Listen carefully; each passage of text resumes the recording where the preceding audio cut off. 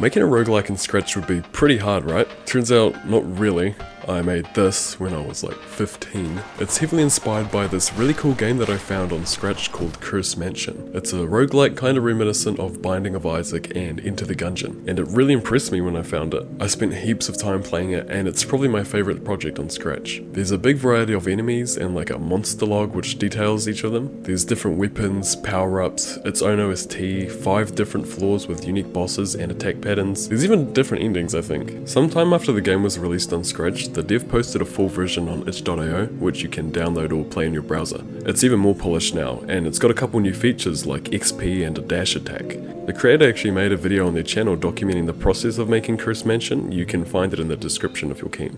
Anyway, this game amazed me, and I quickly started prototyping my own roguelike game based on it. It didn't get anywhere near as far as Cursed Mansion did, it only had one floor, two weapons, two enemies, no working shop or anything, but I'm still pretty proud of it. I think it looks pretty good. I really like the particles and sound design, and I started developing a system for different items which would actually show on your body like Isaac, which was kinda neat. But it was only really a tech demo, the movement was very slow and slippery, there was no unique mechanic or hook, and the code was pretty bad. Nothing was really made in a modular way, which made it really hard to add more content. But it's been four years since then, and in that time I've learned a lot of stuff, so I think I'm ready to give it another shot and try to publish my own roguelike.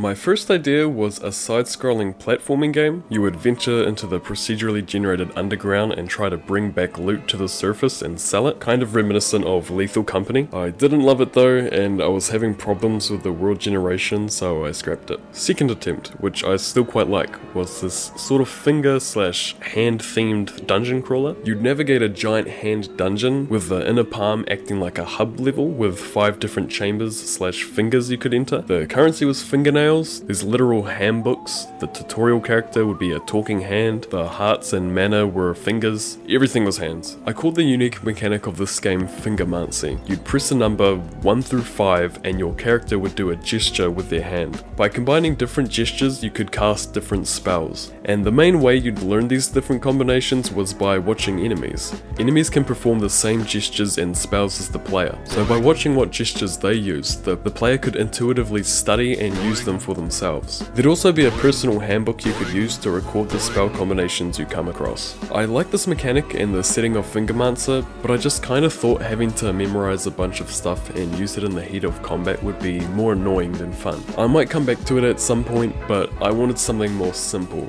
more basic. So attempt 3.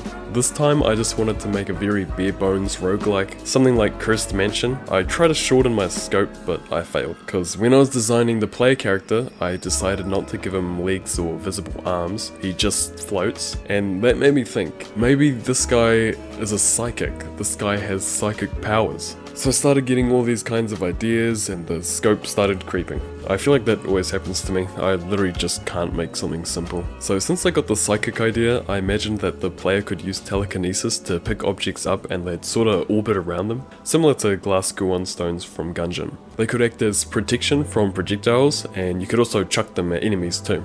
I made it so you could cycle through the different things you had in your orbit, kind of like a hotbar. The floating objects looked a bit jank, so I made them align themselves in a circular formation. Then I thought it'd be fun if enemies could also pick up and throw stuff, so I added that. But it was at this point I realized I was not paying attention to performance. I randomly spawned in just 50 stalls and the game ran abysmally. This really bumped me out. There's no AI, no collisions, and with just 50 entities the game runs this bad. I ended up just completely restarting because it really frustrated me. With the fresh new project I focused heavily on optimization. I ended up figuring some stuff out and look at that, 500 entities and I'm reaching my desired target of 120 FPS no problem. With a stronger framework established, I started getting the game back to its previous standing, always keeping a very close eye on the frame rate whenever I added anything. I also created a Steam page. Look at it! Not completed in the slightest, but it's just cool that it's there. Hopefully in a couple months I can get some playable demos on there for you guys. Oh yeah,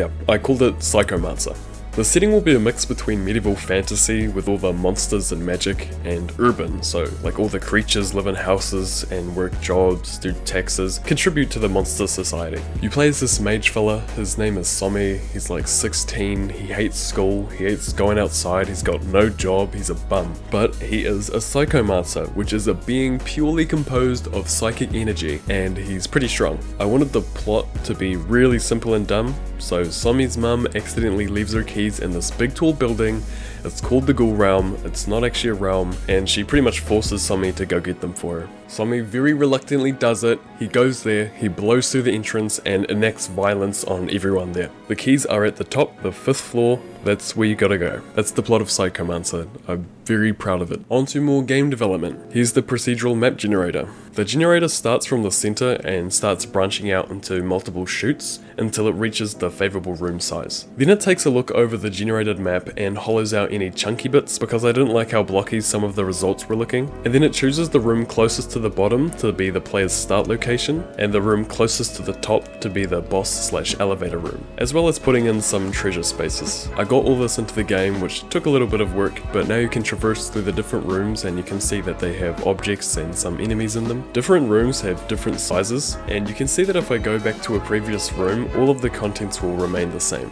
And if I abduct this goblin, and go back to the room he was in, he's no longer going to generate as part of that room. Cool. Very briefly and roughly, I began working on getting projectiles to work. You think that'd be easy, but it's actually quite tricky. One of the common ways of getting clones to fire projectiles is by storing its x and y coordinate into two public variables, and then creating the clone which just sets its x and y to those variables. It works alright, but if we add multiple clones trying to create projectiles at the same time, they'll actually set their x and y coordinate in too close of a time frame, which will end up with all the projectiles only going to one spot. Even if we add some randomness in the firing speed, it still occurs. And this is a huge problem in a game where you're trying to carefully avoid bullets. It would be really confusing if an enemy telegraphs an attack and it comes from a completely different enemy. So to circumvent this, my method is using a list. If something wants to create a projectile, it must wait for the list to be empty. And when it is, it stores all of its necessary information into that list and the clone is created, deleting the list as soon as it spawns, which allows other queued up projectiles to be made. There's pretty much no noticeable delay, as the wait time is usually just one or two ticks.